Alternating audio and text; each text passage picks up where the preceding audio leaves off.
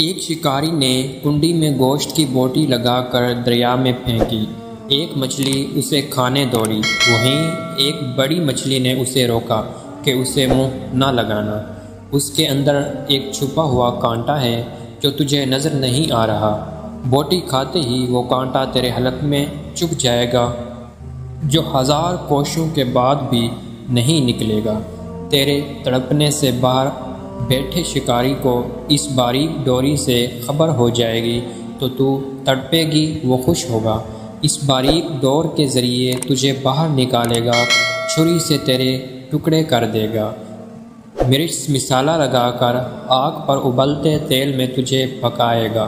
फिर दस दस उंगलियों वाले इंसान बत्तीस बत्तीस दांतों से चबा चबा कर तुझे खाएँगे।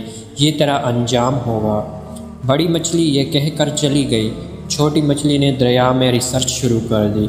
ना शिकारी, ना आग, ना खोलता तेल, ना मिर्च मिसाला, ना दस दस उंगलियों और बत्तीस बत्तीस दांतों वाले इंसान कुछ भी नहीं था। छोटी मछली कहने लगी, ये बड़ी मछली अनपढ़ जहर, पत्थर के ज़माने की बातें करने वाली कोई हकीकत नहीं। इसकी बातों में मैंने खुद रिसर्च की है। उसकी बताई हुई किसी बात में भी सच्चाई नहीं। मेरा ज़ाती मुशाहिदा है। वो ऐसे ही सुनी सुनाई नाम नहाद गैब की बातों पर यकीन किए बैठी है। इस मॉडर्न साइंसी दौर में भी पुराने फरसूदा नज़रियात लिए हुए हैं। चनाचे उसने अपने ज़ाती मुशाहदे की बुनियाद पर बोटी को मुँह डाला। कांटा चुभा मछली तड़पी, शिकारी ने डोरी खींच कर बाहर निकाला। आगे बड़ी मछली के बताए हुए सारे हालात सामने आ गए।